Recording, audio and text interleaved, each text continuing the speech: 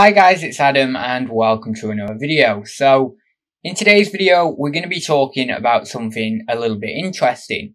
Now, this comes from my own observations of, the psyche, of um, sort of active imagination, daily fantasies, things like that. Um, I'm generally quite an imaginative person, so I can have fantasies pretty spontaneous fantasies, even just when I'm walking, even when, um, sometimes when I'm talking with other people, although of course talking with other people generally, uh, sees my attention focused on them rather than on fantasies. But sometimes, occasionally, you may have a, um, a particular fantasy pop up even when you're talking to someone and specifically, maybe not so a fantasy, but certainly a conscious image or, or sort of like a pre-conscious image um, within your mind. And uh, I get that a lot, and I know that other people will be able to experience that as well, if of course they direct their attention towards it. So Obviously, in Jungian psychology, for to give you an example, uh, you might be talking to someone about something in particular, and uh, it might just touch upon a certain archetypal theme, and then you might be um, predisposed to having image in your psyche at that time of a personalized image of the father in the form of a father transference. So for myself, I often see when um, I'm in that kind of father transference um, mode, I suppose, or archetypal. You can't really call it archetypal possession, but archetypal behavior, I suppose you could call it, or archetypal feeling. Um, I will often see Jung, of course, in my psyche, uh, I sometimes see Charles Bukowski. I sometimes see Alan Watts. I've talked about this before. And when, when I say that I see that person in my psyche, it's very um, passive. So it's not that, of course, when I'm talking to someone, I can clearly see that person in my psyche and that psyche, that person pops up in a very, very clear image. It's just behind consciousness and it's very hard to get access to. But of course, once you get access to it, you can start to recognize it, discern it from reality, realize then where it is possibly affecting your behavior in that moment. And then you can start to center yourself again. It is hard and it does take a lot of, uh, what we could call psychic energy, mental energy, whatever um, and concentration, of course. So I want to talk about sort of this personalized aspect of a psyche that is very, very interesting. Now, Jung in his writings, a lot of the time focuses on the collective. And as far as I'm aware, I believe it was from uh, Gerhard Adler, uh, I might be pronouncing his name slightly wrong there, but he was a close collab- collaborator with Jung and he edited certainly a fair few of the collected works, if not all of them, uh, along with uh, another of the psychiatrists close to Jung, I forget his name. Um, and he said in an interview, in a Remembering Jung interview, that Jung would focus in his analysis of, of patients and of clients, the archetypal side, the collective side. And Toni Wolff would focus on the personal side. And that would be the kind of split, which of course is quite a nice split. Uh, and in his writings, in Jung's writings, he does focus a lot on the collective and not so much on the personal. And I think that really other people, of course, have, have expanded the personal a little bit more. But I think it's necessary to expand the personal more and more and more over the coming years because, of course, that was missing in Jung's writings. And uh, I think it's necessary as compensation to be able to do that, to be able to formulate those kind of distinctions and be able to uh, then, of course, expand our understanding. So that's what I'm going to do today, or hopefully do today in a, in a, in a sort of partial way. Now, I, in university, have only just started looking into the brain, into neuroanatomy, neurophysiology, things like that. But it's always been blatantly apparent to me, before I knew anything about neuroanatomy or anything like that, uh, just on a kind of passive observation of nature and a philosophical intuition, shall we say, um, what Jung would call an intellectual intuition, that the brain, everyone's brains are uh, structured in a unique way to them. And of course, one of the first things you learn, and it's on, it's in some uh, neuropsychology textbooks, uh, neuropsychology books, beginners books and things like that. Um, I think specifically as well as the, of the one by Dr. Nicky Hayes, Your Brain and You, which is a brilliant introductory, introductory book to neuropsychology. Um, in fact, it, that book, when I read it, went into, into more detail on the brain than, uh, in some areas. Um, of course, in other areas it didn't but in some areas than certain things we did in the, the entire semester that I've just had of, of neuroanatomy and neurophysiology. Um, and so obviously in as well, leading on, not only from those books is it uh, very, very early on mentioned that every brain in the world is unique because, and it's not hard to work out from a philo- philosophical or intuitive perspective because, of course, you can look at everyone and everyone's physiology is, is subtly different. Of course, identical twins and things like that. Um, but ultimately, uh, even identical twins, environmental factors and things like that shape their physiology, shape their anatomy. Of course, identical twins could um, get different illnesses and things like that. And of course, that's going to affect their physiology and anatomy and brain structure um, in various different ways. So, um, with all brains being unique, with all brains having that kind of, um, I don't know, we, we, we, I suppose we could use the word a priori kind of, um, way of being or mode of being or, or, or growth, that kind of a priori growth. Um, then we have to understand that, of course, and this is very, very true in Jung, in, in a Jungian sense, that the collective, the anima, the animus, the shadow, the persona, things like this get placed within an individual context. And that is very true. And we are all in our physiology, in our, well, I should say really our physiognomy, our um, speech, the way in which we speak, the the tones of our voice, all of the different nuances physically and uh, psychologically within our individualized structure of the brain, we produce the collective structures in a personalized way. I am coming across right now as a personalized version of the archetypes. I'm not coming across as a collective version wholly. Of course, the, the personal fits within the collective, but the personal is still very, very much there. And so, yes, I could say, well, I am very much the collective archetype. So let's say, uh, I have the ability of that expression through me quite unconsciously. Um, but ultimately, uh, that's happening in an unconscious way by the self, um, in a personalized manner or through a personalized vessel in which can never be anything other than a personalized vessel.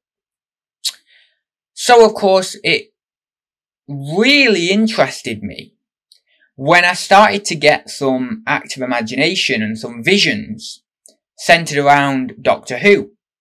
Now anyone who knows me will know I adore Doctor Who. I've watched it since I was nine years old and uh, of course increasingly it's been apparent in uh, my active imagination, in my dreams, in my self observations that Doctor Who is working um, with alchemical symbolism, with mythological motifs, um, by the psyche. The psyche is using that individualized memories, the, individualized memories I have of Doctor Who, uh, to structure uh, my psychological development and to uh, portray to me certain archetypal themes that either I might be lacking, either might be too prominent in my psyche, or might be uh, something that particularly I'm, for some reason I'm unconscious of, or some sort of uh, direction I, I need to go go down or go towards.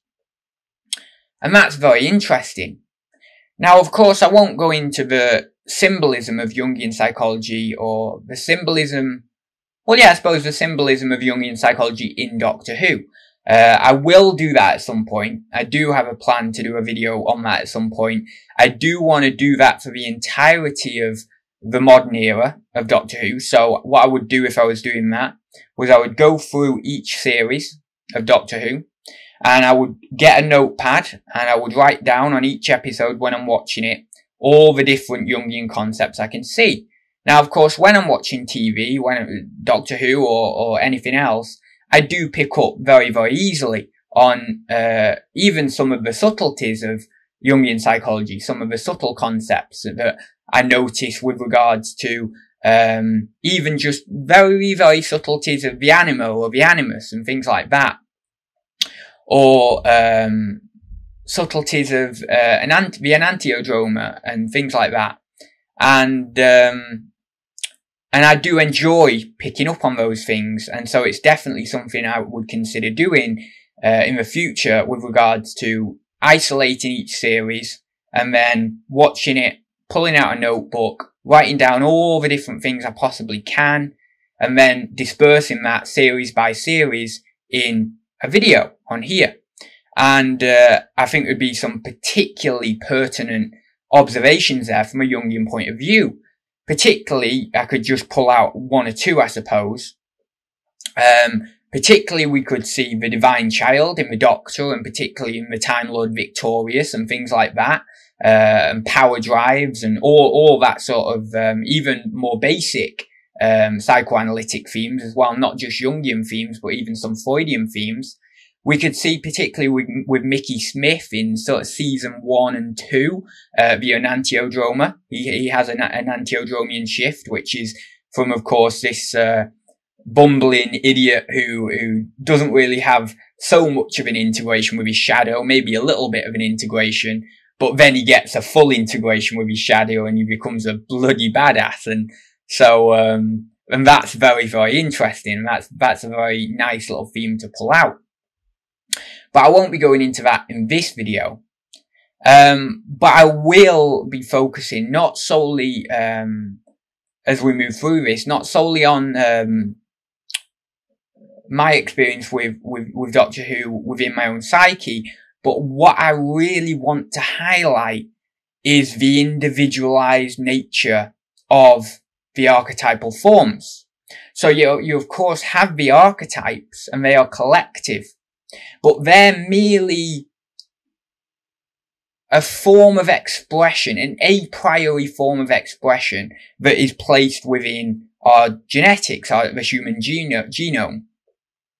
And uh, the way in which they come to consciousness is through images. Now, the image isn't an archetype, but it is a representation of an archetype or of an archetypal pattern of behavior.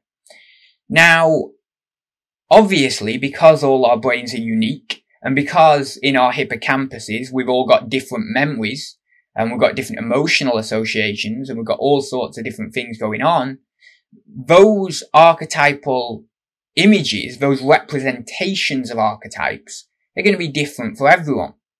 And uh, so I could very, very easily postulate and have a very, very strong um, hypothesis around the idea that everyone has this particular mythological substructure that is personalized to them. And we could see this most notably because it will be less prominent in those individuals, let's say in big five terms with high conscientiousness and possibly low openness or just generally low trait openness. Um, it'll be less um, obvious in those people because they're less mythological generally and they're, they're less um, focused on creating a mythological story out of their own life. But particularly with people high in trait openness, we could notice this. And uh, I think particularly of people who are very, very absorbed in um, science fiction or things like that, that do really have a story. Not only science fiction, but fantasy. Things like Lord of the Rings or Harry Potter and, and things like that. In a way, I suppose that does come into science fiction as well in a, in a small way. Uh, also definitely things like Star Wars and Star Trek and stuff like that.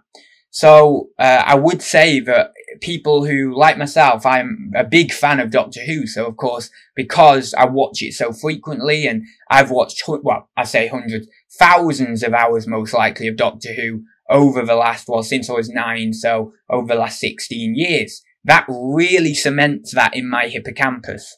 That really cements my emotion the amount of times that I've watched Doctor Who and I've got this kind of outpouring of emotion because I'm, I'm watching this heroic figure that of course I'm making all these projections onto, father projections, hero projections, all that sort of stuff at a very young age.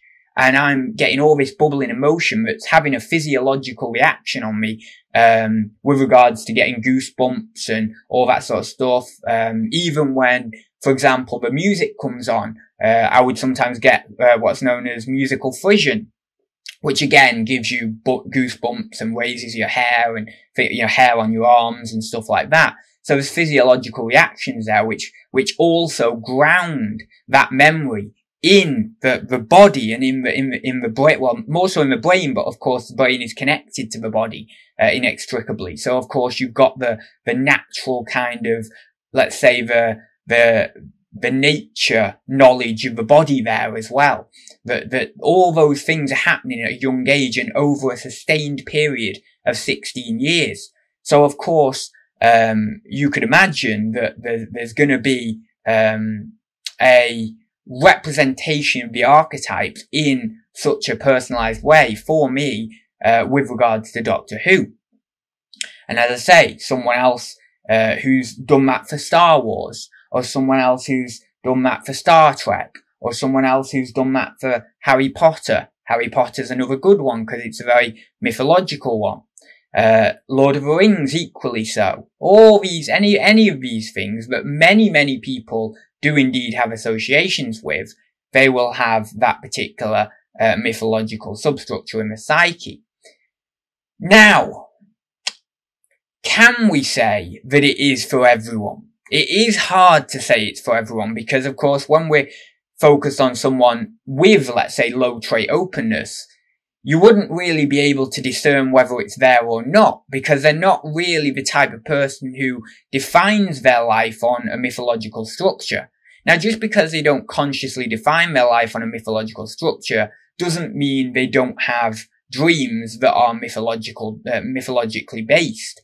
And of course, if you were to get them to, if you were to, let's say, uh, say to them, could you tell me when you have a dream? And they write down their dream and they, uh, do that for maybe 10 dreams. You will most likely find, even in that individual with low trait openness, that, that there is some sort of basic mythological structure there, even if it is some sort of very, very basic one. And so then we could say, well, even despite the conscious ego not particularly defining their life in mythological terms, there is some sort of basic mythological idea going on in the unconscious. Um, and that might be to do with, uh, not necessarily a TV show or anything like that they've seen, although TV shows often do come into dreams, but it may not be that. It may be, uh, obviously more personally based, just as uh, even people high in trait openness don't dream of mythological things all the time or, or don't even have active imagination that's solely mythological. It can often be personal as well. It can often be, uh, related to the people in their lives and, and, and things like that.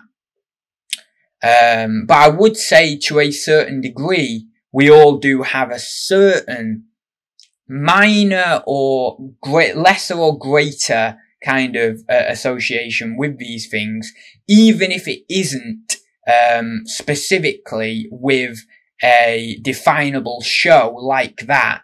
Because I think that it, it's only the case that that comes present in people like myself who have really indulged in one thing for a long time, such as obviously Doctor Who, or such as someone else indulging in Star Wars. Those are the people, of course, most likely with high trait openness anyway, because a lot of people who are into sci-fi will have slightly higher trait openness. Obviously some won't, but a lot will. And also, if they are someone who does have exceedingly high trait openness, and of course has um, uh, indulged in that show in quite a uh, abundant way, let's say, over a number of years, then it is very likely the case um, that that is very much cemented as uh, a personalized mythological form of the archetypes. And whenever the archetypes are going to come to consciousness in the form of an image in active imagination or dreams, uh, then for the most part, or for some of the time at least, they will come through as that particular TV show. Now I want to just clarify that with a little bit more detail. Because of course I have had dreams, and maybe about once a month. Now I, I, I dream every night, but maybe about once a month I get a dream centered around Doctor Who. Maybe twice a month. Um, and if I'm watching it, of course, it might be more frequently than that. But let's just say I'm not watching it at the time. Then I'll dream once or twice a month about Doctor Who. Now in my active imagination, it's a bit more frequent. It might be a few times a week in uh, certain fantasies that I may have, either when I'm out walking that just spontaneously pop up, spontaneously arise, maybe in active imagination uh, when I'm doing it on the bed behind me, anything like that, um, and it will pop up a little bit more frequently. And it strikes me as very, very meaningful, the, the ways in which it pops up. Now, it doesn't just pop up in terms of, um, scenes from the show. Sometimes it will. Sometimes my imagination will spontaneously provide me in a kind of, uh, meditative or relaxed a- uh, attitude a uh, a scene from the show, and it will be a scene from the show. And uh, whenever immediately that scene's come up, and then immediately after I've interpreted it, it always strikes me as incredibly relating to the associations I have in my life at that time, or the particular uh, over indulgence in certain archetypes for example, whenever I've been particularly overtaken by the shadow at times, I'll, I, have seen all sorts of different images from Doctor Who in my mind that are quite spontaneous that just pop up. Uh, and it's always centered around the Master. And it's always centered around John Simm's Master. And of course, that he is a, uh, what we, what we could say, uh, as a sort of archetypal in the show and in, of course, my my imagination. There, it's the both the two are synonymous. Uh, it is, of course, an archetypal representation of the shadow, and it's almost the collective shadow as well with the master because the Doctor is really a symbol of the self. And it is also a symbol of the, the positive side of the, the wise old man as well. And uh, the master is a, a symbol of the collective shadow the very instinctual raw shadow. And uh, you, that comes out in his eyes quite a lot. And uh, of course, he has a discount in Missy, but of course, we'll come back to Missy um, because, of course, she would be uh, associated with the shadow side of the the anima um, in her manifestation. But with regards to um, John Simm's master, we also say that there is a, an association there with the shadow side of the animus. And we see the collective shadow side of the animus coming through in his eyes and his very, very instinctual nature and a very, very assertive manner of wanting to kill people and wanting to uh, overcome the world. And of course, there's uh, no better representation than the, the collective shadow. And, and also what it can kind of do in uh, almost a sort of fascist manner in a sense is in uh, the end of time which, where John Simm stands under the arch and converts the entire population of the world of humans into him. Uh, and that's a very, very collective shadow thing to do because it's the instincts for power and dominance. And, and there's this very, very interesting side of the shadow within that kind of instinctual, um, expression where it wants total power and total unification, um, of everything.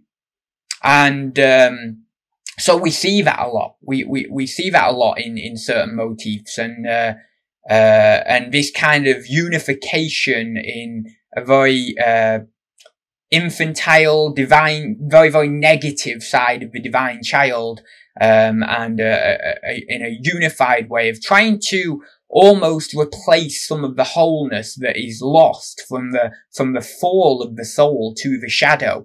Um, and so it's tried to replace that by unifying the world, particularly uh, in the image of itself. So to try and get some feeling of, of metaphysical closeness with the self, or we don't really need to say metaphysical, to be honest. We could say psychological closeness with the self, because that equally, equally works there. So, um, of course, you know, I've seen the master and he's popping up uh, in the scene in the end of time where he's laughing in Wilfred's mind, actually. Um, and that also gives us a dual association because we could say, well, when that image pops up in my psyche, we could say the, uh, the shadow is popping up in the, the mind of the wise old man, Wilfred being a, a human manifestation of the, the mana personality, really, of the, the wise old man. In, in a sense, in a sense, uh, not particularly fully, but there is that association that can be made there. And uh, so we could say that that's the shadow taking over the, the wise old man archetype in its negative form. Uh, and then converting the wise old man into a, um, a, a, villain of sorts, an old villain.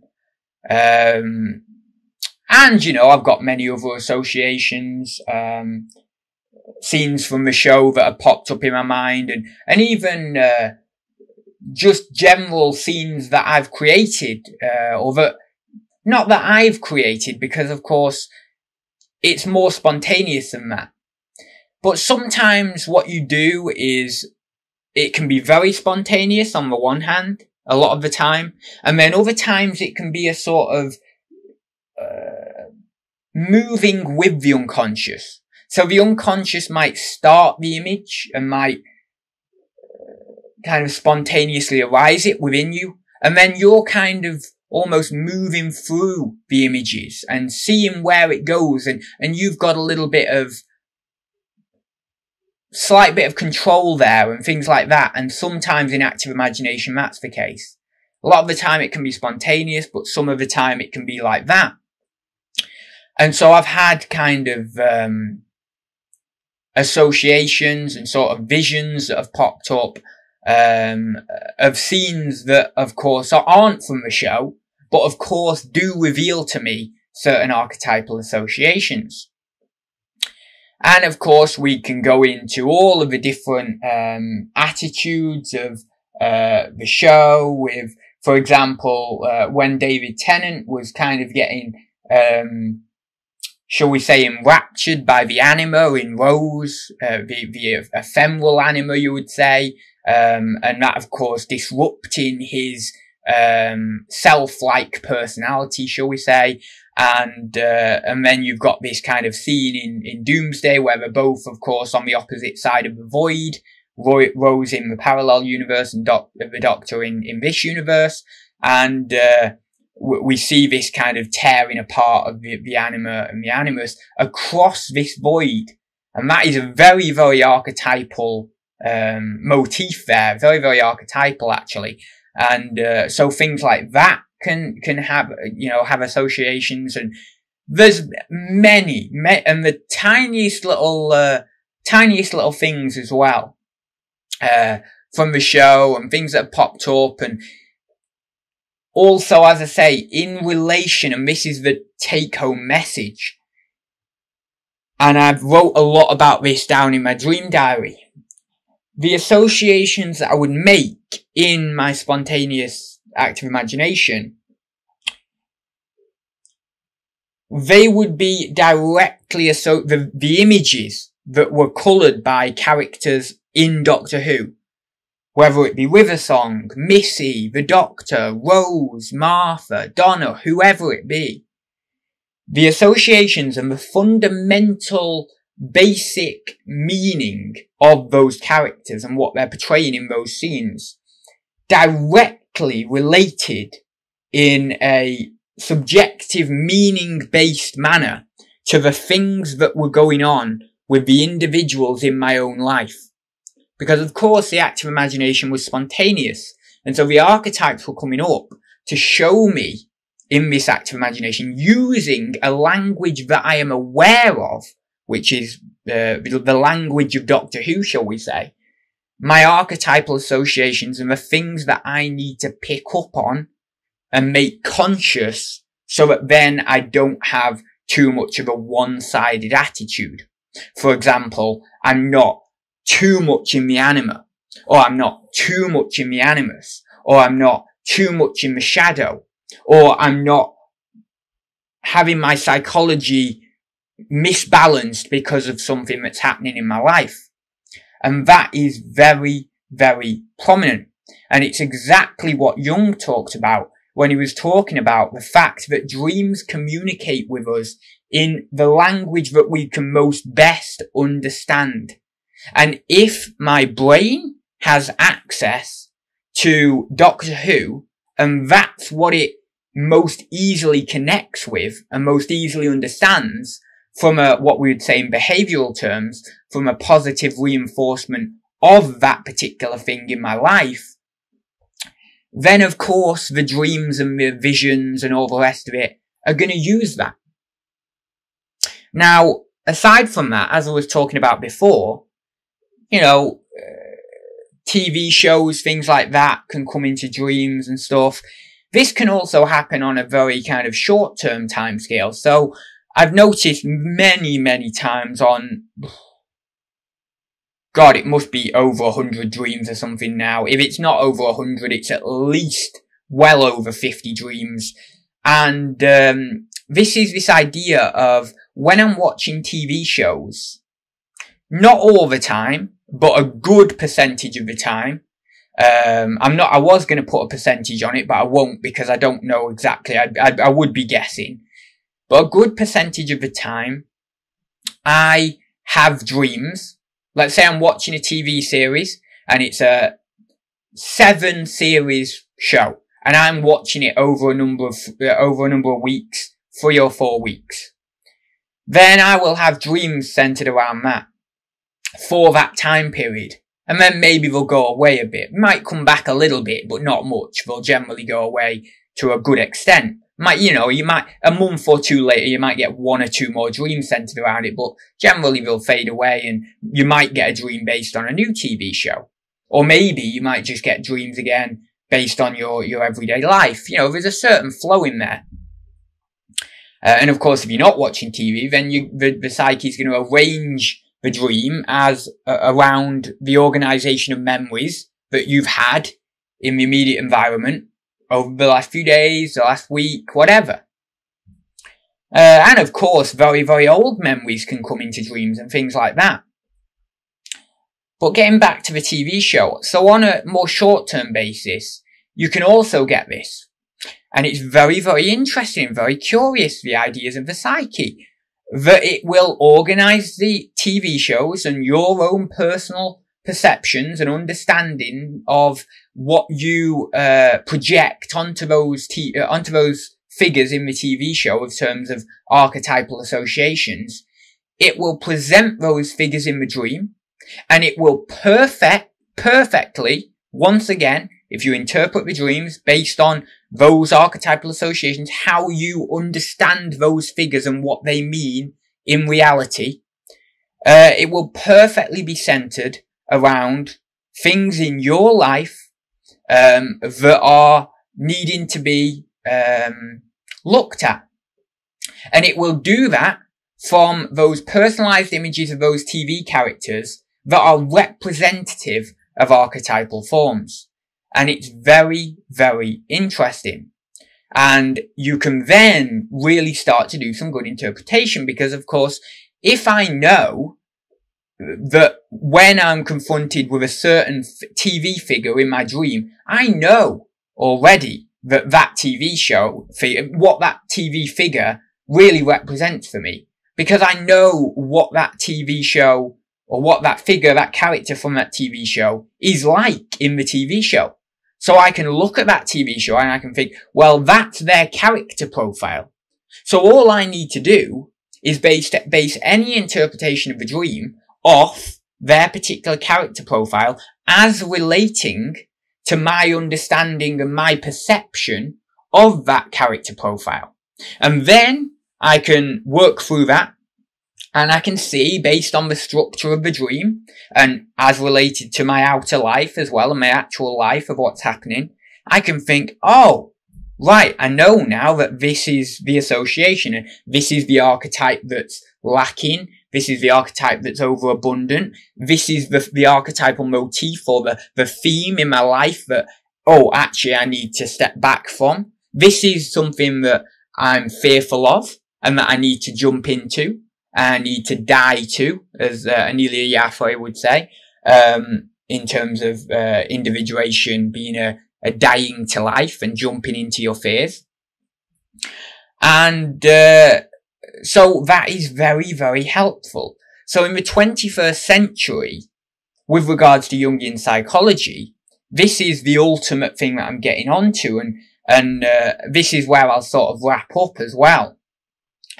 In Jungian psychology, we have this beautiful repertoire of hundreds of TV shows and hundreds of different things. We've got all of this uh, all of these sense perceptions coming into us, all of these different modes of being, modes of, um, well, characters, things like that, all of these characters coming into us.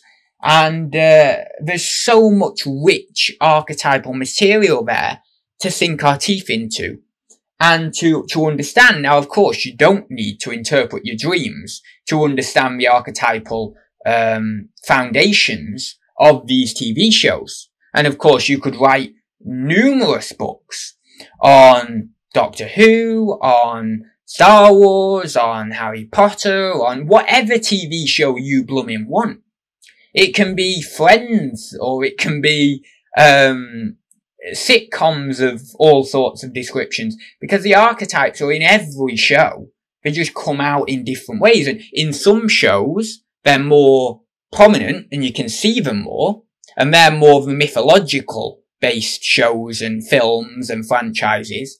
But in other shows, they're still there and you can interpret. So you could write numerous amounts of books on the ways in which the archetypes are, are playing within the modern world in these shows. And of course, all of the writers of these shows, as I've said very blatantly and obviously before, they write from their imagination.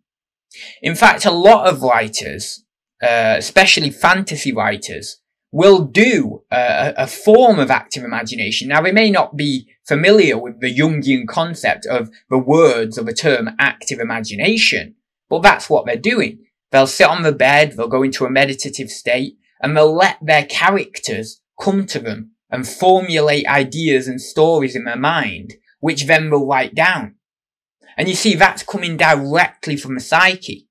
Now, even if they don't do that, which some writers don't, but a lot of writers will tell you they'll do some sort of form of that, even if it's not that specifically, but there'll be some form of it. But even if they don't do that, as they're writing down, they're having little fantasies in their mind about the stories that they're portraying anyway on the page of their fantasy characters. And that is the archetypes playing, you see. That's the archetypes coming in the individualized form of these characters and then actually placing themselves on the page through that person, through the ego of that person. And then they produce the television show or the, the, the film or the movie or the franchise, and you can see the archetypes clear as day. Now, of course, we get um, the understanding that if those individuals who are writers are really going quite deep into their unconscious to pull out these these characters and these fantasies, then the deeper we should be able to see the archetypal motifs. And not only that, but the deeper we should be able to see possible outlooks and intuitions on the future from the these archetypal themes within these TV shows and within these movies. As I say, especially the very, very highly uh, fantasy-like ones. Because of course, just like in dreaming, we can have pers- what's known as prospective dreams, which are future dreams, which tell us something uh, about the future, and then we end up two days later, or a week later, or three weeks later, having a scenario in reality that is eerily similar to the dream scenario, and that's what we could very easily say, uh, very obviously a prospective dream, a future dream. Then uh, we can see this in the TV shows. And if, as I say, the person is very close to the collective unconscious, I think here of things like the, the writers of Rick and Morty and stuff like that. Those guys are very, very close, very, very imaginative and can go very close to the collective unconscious. Uh, specifically the, the co-creators of it, uh, Dan Harmon and Justin Roiland, I believe, um, those two specifically, because they're really the, the, the, imaginative driving force behind it. The others, the other writers, of course, are, are a great team, uh, and, uh, and will be able to get quite close to the collective unconscious as well. But those two specifically have got very good mind, very sharp mind on them. Um, and so, of course, uh, I think specifically that, but also many, many other shows as well. Um, and then we can start to see very, very scarily, in a sense, within these shows, the way in which the future is going to form itself from fantasy. Or the way in which the future could form itself from fantasy. Because of course there's many different routes that the future could take causally, causally speaking. There's many different ways it could manifest itself. So it's only sort of a one particular route that could take place. Um, but nonetheless, it is a route that could t- take place. So of course, when we get, a, and I've talked about this briefly before, but when we get a lot of movies and TV shows talking about uh, robot takeovers and things like this, this isn't just, you know, uh, not serious stuff. This isn't just, oh, well, a movie's being produced on the robot takeover. How fun is that? Oh yeah, that'll never happen. But people think it's like that. But no, that comes from the depths of the psyche. That's a potential reality for expression. That's a potential reality for the collective of, mankind if we move in a particular way to uh, actually uh, get closer towards. Now, personally, do I think there's going to be a robot takeover as such? No, I don't believe that. Do I believe that there's going to be some very, very, very high level of integration between humans and robots at some point in the future? Yes, I very much full, fully believe that. And so therefore the question becomes, well, we do have to be careful, uh, about how that comes along and how that, uh, is, uh, displayed and is played out in society.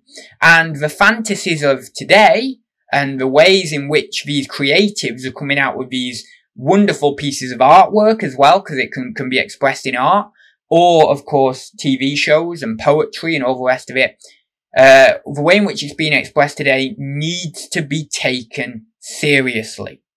Because it is not just a frivolous outpouring of creativity that means nothing at the end of the day.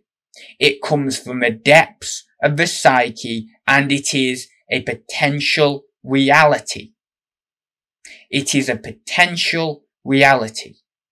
Now, how can we possibly say that the psyche, that the mind is real. How is that possible to say that the psyche of the mind is real? Because so many people, now Jung was a proponent of the, the reality of the psyche. And I never understood. No, well, I did understand that, but I didn't understand it in the way I understand it now. I was always very open to, uh, well, since not not always, because in high school I, I, really wasn't. I was very much a strict skeptic, and I was very atheistic. I was like, no, no, no, no, no. There's nothing spiritual or mystical. That's all, you know, nonsense and all, this, all the rest of it. Um, I may have been sympathetic to spirituality or mysticism in a kind of, you know, ha ha way, but I was never um, sympathetic to it in a, oh, I'm going to take this serious way. But I did always have an intuition about uh, dreams and things being something. I remember when I was 14, 13 or 14, I had a wonderful collective archetypal dream of, uh, basically, um, the end of the world and we you know, it's typical uh, apocalypse scene. Uh, and, and, there was these big bol- giant asteroid type boulders coming down from the sky and there was red skies and uh, you know, it was like a, a, apocalyptic scenes on the ground, and there was this wise old woman um, who I uh, I had done a little bit of research onto um, mystical figures in that time, about 13, 14, and uh, I had done a little bit of research on uh, the Mayan calendar and on Terence Terence McKenna's um, ideas in the Mayan calendar of, of the Mayan calendar being ending at tw- in 2012 on 21st of December. Of course, McKenna actually, I later realized, said that obviously it may not have been that date, but it could have been any date. And, uh, I'm not really particularly one for, um, doomsday predict- predictions or any, anything like that. That's a little bit far, far fetched for me, particularly. I'm not saying that we're not in any sort of end times now or anything like that very, very possible that we are approaching some sort of end times based on my observations of the psyche and things like that. And anyone who's done any observing of the psyche will know very obviously that there can be that kind of uh, approaching. I was never really too sympathetic to that, but I was doing some uh, research, of course, on that at the time, and also uh, someone called Mother Shipton, who was like a, a you know, a mystic, um, not a medicine woman, but what would you say? Sort of like a, I don't know how to say, a psychic or something like that. And uh, I kind of had her pop up in my dream as well, and she's represented it, representative of a wise old woman archetype, of course, and uh, she was in there and stuff. Um, but no, the reality of the psyche it is real. Now, how the hell can we define it as real? Well, imagine that you have uh, certain fantasies that pop up. Now, those fantasies only pop up as a fi- as a physical, a physiological firing of of your neurons in the brain. And if we're going off some sort of idea of Spinoza's dual aspect monoism, uh, in brackets monism, for those who like to pronounce it that way, um, if we're going off some idea of that, with the brain and the mind being one substance and uh, the same thing looked at in two different dimensions of experience, which, let me tell you, from my observation, seems to be incredibly accurate. And it was Albert Einstein who actually said that the, the uh, pantheism, I know this doesn't directly relate to dual aspect monoism, although partially indirectly it may, um, Albert Einstein said that the one of the most beautiful philosophies, or one of the most uh, wonderful philosophers, was Spinoza and his pantheism.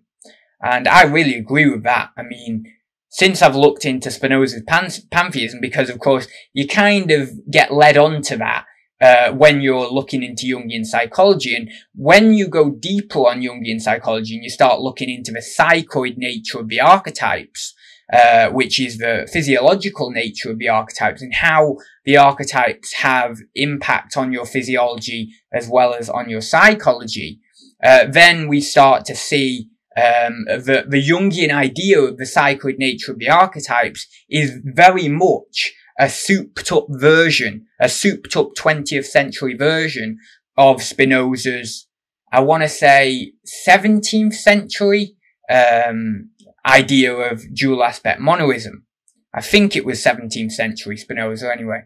Descartes was, uh, 17th century. So maybe, uh, 16th, 17th century. So I think it was 17th century. Uh, you'll have to excuse me because I do get my dates wrong sometimes. I do believe that is correct. I do get my dates wrong sometimes because uh, if you know me, you'll know that there is a, a, hell of a lot of stuff inside my head. So it's like being in a, a mental factory that's that's been pumped full of foam. You know, in uh, Willy Wonka, when we're going, when we were in that little car in the 1971 version with G- Gene Wilder, we're in that blooming really eccentric car that of course, G- Gene Wilder is an archetypal association in, in that role is uh, associated with the Joker or trickster archetype, and it's very, very interesting archetypal association. But we got in that blooming weird eccentric car, and we're going through that the machine or whatever, and we get covered in foam. It's almost like I'm a big imagination factory in my mind, or a big factory of ideas in my mind, and it's just full of foam, and I can't even see anything in there because there's just too many ideas going on. Uh, that's what it's like to be. It's, it's, horrible. It's horrible. And anyone high in trait openness will uh, obviously agree me, agree with me when I say that. I mean, it's wonderful. Don't get me wrong. It's brilliant. It's I, I adore it. But at the same time, it's horrible because it's like this amazing imagination factory of of ideas and associations and philosophy and psychology and God knows what else. Um, but yeah, when you go into that, uh, in terms of Jungian idea, you, you see that kind of, um, uh, those associations coming through there.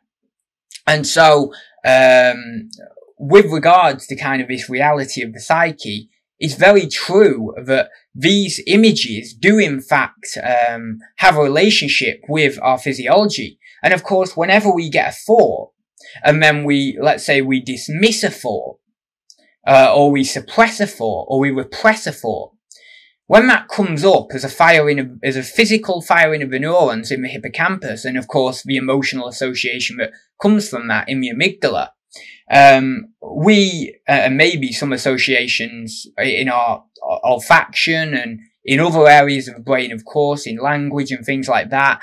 Um, but when we get that association and then let's say we suppress it or we repress it, then that's a, a thought that has gone directly back into our physical body in the hippocampus. It's physically there in the hippocampus in a very, very minute way, of course, in, in a storage manner in the hippocampus. And so that particular fantasy that's there as a, as a mental phenomenon, uh, is a physical phenomenon as well. It goes into the physical realm. In fact, the two are synonymous. In fact, at the exact production of that thought from the neurons, the mental sphere isn't different from the phys- physical sphere. It looks different. It per- we perceive it as different, but it's in fact one and the same process. It's both physical and mental. It's physical hyphen men- mental hyphen. It's like causality. Uh, it's cause hyphen effect. It's not cause and effect because you can't have a cause without an effect. So it's cause hyphen effect. It's non-dual. It's that kind of way of thinking. And of course, there's a lot about that in Jung, and there's a lot about that in Spinoza as well. And so we're on that kind of wavelength of philosophy, and it's very true when you look into it in enough detail. Now, also, we could say, well, well, okay, Adam, so that cements the psyche in reality somewhat, but, you know, I mean, it doesn't, doesn't really mean it's like fully real, does it? Come on, I mean, it doesn't really mean it's real. Okay, so you're telling me that let's say you have these certain associations and you get these certain fantasies and maybe those fantasies are relating to a bad situation that you had in childhood that created these fantasies of the, the particular uh, environment that you were in that was negative. You repressed those fantasies as kind of images in your mind. You repressed those. They went into your hippocampus. You had multiple bad experiences over your childhood. You repressed all of those as well. They all went into your hippocampus. And okay, let's say that you're now 22 years old and you're approaching a man on the street and he comes up and he's a bit pretty burly man. Maybe he's got a leather jacket on like me, but he's quite a, you know, he's not like me in, in uh, my kind of anatomy. I'm quite a skinny guy. Let's say he's quite a big, bold, muscly guy. Maybe he comes up to you and starts randomly being assertive with you. Then you get all of this neurophysiology firing and you get all of those uh, repressed memories that have formed that complex over over reinforced over a number of years that then give you a, a real really really overly pronounced fight fight or flight response that then orients your behavior and then you can say well okay yeah yeah okay i see that that the fantasies have actually cemented themselves in the physiology in the neurophysiology neuroanatomy and based on the environment as well and based on an arrangement of that and also just over time, um, uh, there's been certain physical and behavioral um, tendencies in the physical world, in reality, from those particular repressed imaginations, fantasies, things like that might say, okay, okay, you know, that's, that's fair enough. And you might, you know, you might say, well, that's fair enough. But then, but then you might also, but then some people might think, well, I don't know really. It's a bit, you know, isn't it a bit airy fairy still? Is it still not quite cemented for you? Um, so let's cement it a little bit more. Let's go into this because this is what I've done. I like to I go into things to a good depth and, and, and this isn't the level of depth that I've gone into them because Jordan Peterson makes a brilliant point. He says if you want to talk on a subject and you want to talk on it well, you have to know three times as much about that subject as the stuff you're going to talk about. So imagine here that I can only talk about in a level of depth three times less than what I actually know. And that's very true because there's so many things right now that I want to talk to you about. There's so much more depth that I want to go into because I know it. But the problem is I can't formulate it in, in structured arguments yet because I've not got enough knowledge, um, added on to that to be able to give you that full amount of knowledge that I have. It's not structured enough. It's not cemented enough in my, um, brain and in my ideas let's just say about this, right? So you have a dream and you have some fantasies in your dream and then you wake up and you're sweating and you're, you've had a nightmare and, and you're sweating profu- profusely. Uh, I don't know. You might even have goosebumps or something like that. I don't, don't know. It could be anything. Uh, you've got some, some physiological reactions are clearly happening here anyway. So, I mean, right there, of course, you can see that the, the, the, the imaginative realm, the fantasy realm, the mental realm of dream images is having an impact on, on reality, on the physiological realm. It's having an impact. Then, unconsciously, or, well, not really unconsciously, but unconscious of the, how the dream has directed your behavior, shall we say, you straight away get up and go to the bathroom and you, you have to have a drink and you have a drink and you maybe damp yourself off, sprinkle a bit of water on your face or whatever, get rid of that sweat, and then you go back to bed. The, the dream has completely oriented your behavior there. All of your physiology, all of your physiological reactions, well, not all of them, because of course there's many other physiological reactions going on unconsciously to you in your body, but all of the kind of more overt physiological reactions and your behavior has been, it has been transformed by the dream images, has been transformed by what happened in the dream. Cause you had a nightmare and now you got, you got physiological reactions and so you go to the toilet. And let's say that in the dream you had a dream about some sort of possessive woman. I've had that before. You have a dream of the possessive aspects of the feminine encapsulated within this kind of demonic figure.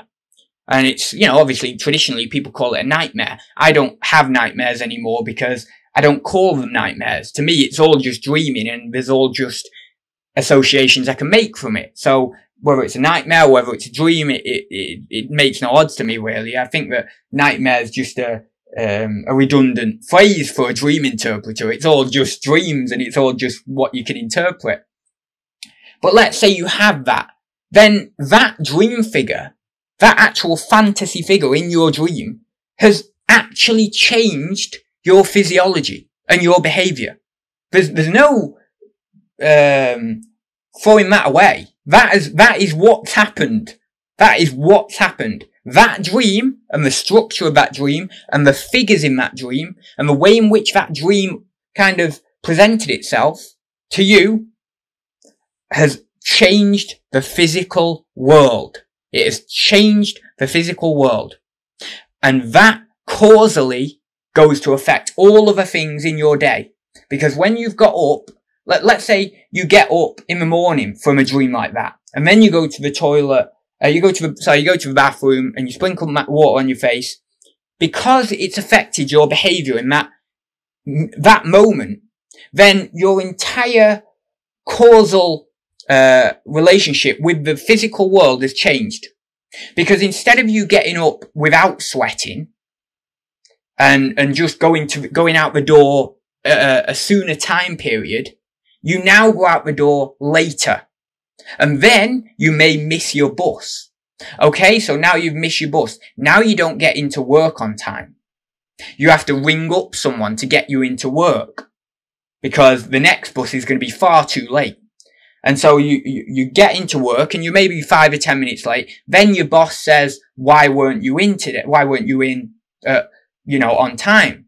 And you see what's happened the dream, because of that subtle little thing, has manifested all this behavior. Now, of course, I'm exaggerating there because it probably wouldn't be that sweating out of a dream would change your causal history that much. But of course, we have to exaggerate to try and get the point across. The fact is that sweating will change your causal history to a finite degree.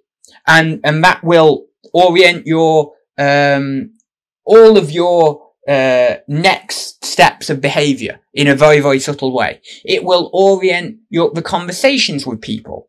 And of course, I've talked about the brilliant research by Dr. Dylan Selterman, um, who has actually proven scientifically, uh, well, I say prove, we shouldn't say proven in science, but I like to say it anyway, but really you could only ever say proven if the results are, uh, are replicated like a thousand times and it's like really, really cemented. Then you could say proven. But let me rephrase that anyway to be more scientific. The research that Dr. Dylan Selterman has done and has, the things that he's found out um, would suggest that dreams um, actually impact behavior. So, for example, uh, he did some research and he got people to uh, write down uh, and uh, analyze, well, not analyze the dreams, but basically um, collate their dreams, uh, specifically when they have dreams of their sexual partners, their romantic partners, etc. And when those people had dreams, negative dreams of their sexual partners, romantic partners, um, maybe they had a dream with them going off with another guy or maybe they had a dream about th- them themselves going off with, with another woman or something. Then the next day, their behavior with their significant other, with their romantic partner, would be a little bit more negative. Unconsciously, of course. This is an unconscious thing. Would be coloured a little bit more negatively. Now, of course, we would say in a Jungian view, that's the archetypes working in the dream and colouring their, uh, unconsciously colouring the behaviour in the day. Of course, that's quite natural from a Jungian view to say that. Um, maybe the anima, the animus, whatever, you know, it's coloured that particular set of behaviour. And then, of course, when that man approaches the external anima, which is his, his wife, the external appearance of the anima, shall we say, he then gets a ne- slight negative association with that because of a negative dream the night before. But of course, Dr. Dylan Selterman has, has shown this, has found this, and of course, if you have a positive dream equally of your romantic partner, you will be more affectionate, or you will, maybe not more affectionate, but you'll, you'll just see them more in a positive light, and that will go to affect your behavior. So of course, it's very, very obvious, the reality of the psyche. But will people take this seriously?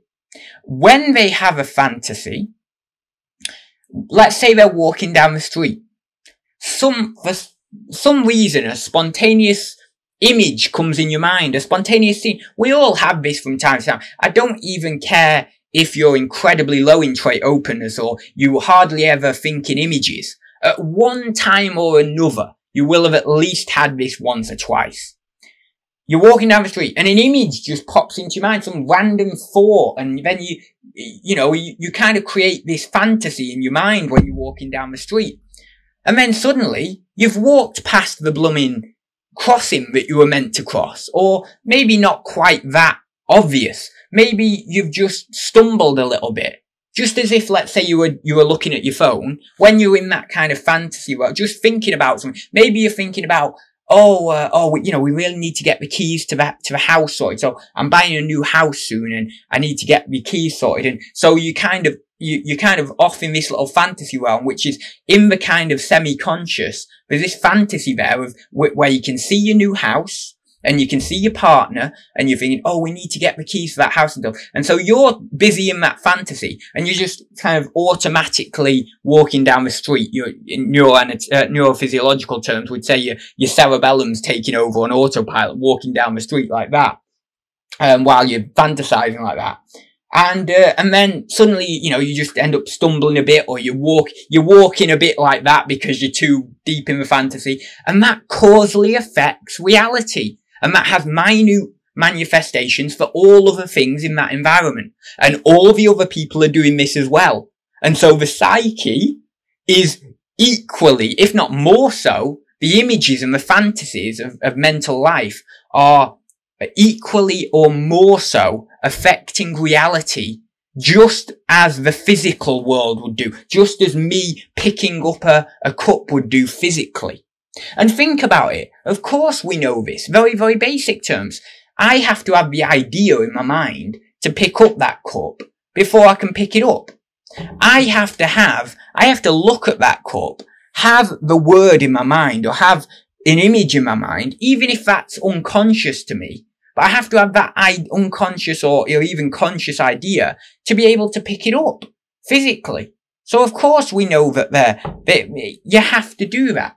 And that, of course, in Jungian psychology, we, we call that the, the will and the idea, the rule and the idea, which is, of course, another way in ungendered terms of describing the animus and the anima. The animus being the will, the anima being the idea. And of course, this is uh, Schopenhauer's philosophy of the um, well, the world as will and representation, but specifically the the will and idea as well within that philosophy of of everything manifest, everything in the universe being um, a union of this will and idea. I, you see, so I can give you a very, very, very brief example. I have the idea first of picking up this charging bank, and then because I've got a will, because I've got an actual will, a man, you know, I can, I can pick up that, that charger, I've then pick it up. So that's, that, that action there is a manifestation of, of the will and the idea. A union of the will and the idea. And that is also a union of the anima and the animus. Or, or, well, if we're going respectively, the will, animus, idea, anima. And so that's how the entirety of the universe, of course, as I've touched upon before, is a union of the anima and the animus. And this can be seen in all aspects. Whether it's, uh, uh, in ax- axonal, have I got that right? Yeah, axonal conduction in the brain with so- sodium and potassium. Whether it's in, um, what should, what else should we say? What else could we call upon? There's many, many different things. Um, in terms of batteries with positive and negative charge, things like that. Um, with chemical reactions specifically that one is an active chemical, one may be a passive chemical, all these t- sorts of things. There's like many, many different things that we could call upon, uh, that, uh, show us this kind of interrelation of the will and the ideal and that, that kind of, um, process between them. And of course, we could even say something like the Big Bang. We have to have the will of the Big Bang. We have to have that, that, that actual energy, but we also have to have the idea to create the planets and the things like that in the, in the first place. They are, uh, a representation of the will, shall we say. The planets and all the rest of it, the galaxies and the stars and all, they're like a representation of the will and they're they're kind of an illusionary representation of the will. Uh, in physics, we'd say, of course, you know, if the universe is made up of a, a certain energy, shall we say, and we can say in whatever, whatever terms we're going to say that in. String theory. Okay. So the, in very basic terms, the universe is uh, made up of vibrating strings in certain arrangements that form different particles or whatever it may be. Uh, and, and th- those then produce, you know, sort of phenom- in the end, produce certain phenomena. Um, but that's of course illusionary because ultimately these phenomena change and this energy changes into different things. So, um, we say that things in the universe are illusionary in that way because of course they are, um, based on this change in energy. Or we say like, well, you know, uh, the universe is, is some sort of energy, some sort of solidified light, which may be made up of, um, wave particle duality. And, uh, then in that particular circumstance, um, of course, the energy we know to, to be changing over time. And we know that energy in, um, I think it's one of the laws of thermodynamics. Any energy uh, can't be created or destroyed. There is a little caveat in quantum mechanics where on a very, very, very, very, very, very, very small basis, energy can be created or destroyed, but generally not created or destroyed. And I'm not a physicist. I'm just stating the very, very basic knowledge that I've, that I've looked at. Um, but, you know, but this energy changes over time. And so that, that the will, let's say the will as a fundamental thing can't really ever be known. You could only set, you could only peg it down to some sort of stuff. You know, you could only say, well, it's some sort of stuff. That's as best we can ever do for it. Um, but we see arising from the will all of this representation and all of this kind of illusionary things, you know. Um, and therefore, really, there can never be a thing in itself. There can only ever be the illusion of what the will provides. The thing in itself, you would say, well, maybe it is the will. But what is the will? You know, so there you go. Um, but all of these things, the planets, all the rest of it, are illusions. They're a, they're um, uh, an idea, a representation based on this just energy that's able to manifest itself in all different ways. Um, but anyway, we've gone sufficiently deep there. I'll, I'll leave it there for this one.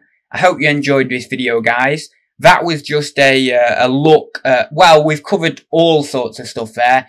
We've covered the individualized version of the psyche and how it kind of um, manifests in through the individual and unique brain. We've covered, covered a little bit on philosophy and how that interrelates with certain concepts in Jungian psychology. We've, we've covered the reality of the psyche, uh, as interrelated with the physical and physiological realm um, which is very interesting, and as related to causality. Uh, we've covered a little bit on how fantasy can shape the future. And we've also covered indirectly, although we didn't touch upon it directly, but it was in there indirectly, the law of attraction and things like that. There's, there's a bit of the law of attraction in this video. And uh, we've of course touched upon a little bit about dreaming there as well and how dreaming can affect our behavior and uh, certain things, uh, certain nature of dreams as well. So I hope you enjoyed this video guys. I am going to go out for a walk now. It's half four. Go out for a walk and then I will grab my tea. If you did enjoy it, then whack a like on it or the rest of it. I don't normally say anything like that, but since I'm doing a um, a more formal end to the video, I suppose. Like I, I, don't really normally do too much of a lengthy outro, but since I'm doing this, uh, yeah, give, you know, whack a like on the video. Uh, and if, obviously, if anyone wants to know anything, um, in depth about Jungian psychology, uh, then just message me. I do not know, um, uh, how do I even explain this? I do not know a great deal because there's always more to know with Jungian psych. You never know whether you, whether you, whether you've got there or whether you haven't. It's like something like Zen or, I suppose with Zen there's more markers because you've got koans that you can mark yourself with and say, oh well, do I know about the sound of one hand clapping or do I know about this? Do I, do I understand that now in experience? So I suppose with Zen it's a bit easier, but with Jungian psychology, there's always more depth to go. You're always unconscious of yourself. So I can never make the very bold statement that, oh yes, well, uh, you know, I know about this because as soon as you do that, you you landed in it. And of course, um, the psychiatrist Joe Wheelwright, who uh, uh, was very prominent in, in the dissemination of uh, Jung's ideas in the early days in uh, the 30s and the 40s, who took Jung's ideas to America and set up a um, uh, an analytic practice over in America and a um, Jung Society over in America. I don't know whether it was specifically called a society, but um, he, he, set up uh, kind of a group for, for Jungians over in America. Uh, when he was leaving Jung for the last time, Jung said, uh, so everyone's going to love you now, uh, Wheelwright, and uh, make sure that when you do notice that people are going to love you, that's when you've got to be the most um, astute. That's when you've got to be the most wise. Because if you're not, that's when you'll fall. And what he was talking about, of course, is um, the possession by the shaman archetype, by the wise old man archetype, that that kind of thing that lends itself to uh, someone who has a lot of knowledge, who has a lot of spiritual knowledge, a lot of intuitive knowledge, a lot of, of course, knowledge on the body, which Wheelwright did have because he was a psychiatrist, that lends itself to coming in, and then you get possessed by it. And if you're possessed by it, it's gone. It's gone. And then you're unconscious. And then what are you gonna do? So, it's very, very, very important to keep centered, to keep an eye on those archetypes, on what's possessing you. Because of course, when you get possessed by the shaman, then the delusions of grandeur increase. Things like that increase. All the stuff like that comes up. So, um, that's the Jungian way. Send that if you want a real condense of the Jungian way, it's a centeredness within the context of an individualized personality. The centeredness of yourself within within the context of an individualized personality that isn't being permeated by archetypes all the time.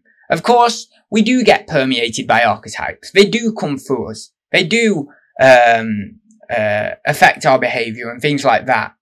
Um, but to have some sort of centeredness, that's always good.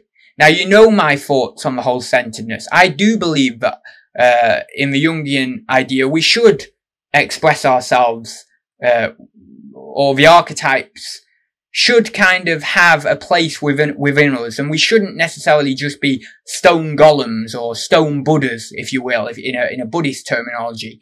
Um, we shouldn't be like that, but um, but still, we should have some level of centeredness, and we still should have some level of being centered in an individualized personality. And we, we shouldn't just unnecessarily let all the archetypes flow for us, uh, or anything like that. We shouldn't be unconscious of ourselves, particularly. Um, but anyway, I'll leave it there. Thank you very much for watching, guys, and I will see you in the next one. So see you very soon, guys.